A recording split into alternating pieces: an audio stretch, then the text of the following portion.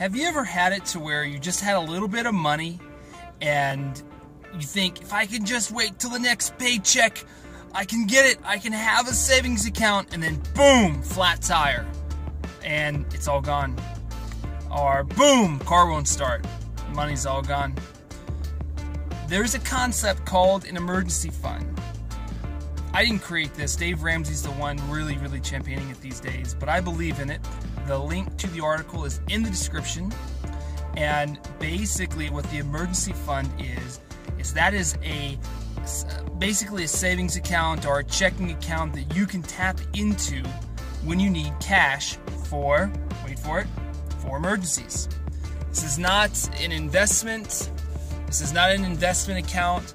This is not any type of long-term certificate of deposit like a CD. This needs to be something you can reach and it just sits there and does nothing. It Could be a jar of money underneath your, your bed. Anywho, links in the description. This thing has saved my butt when I was first trying to become debt free. Um, if you're curious in how I became debt free, please let me know.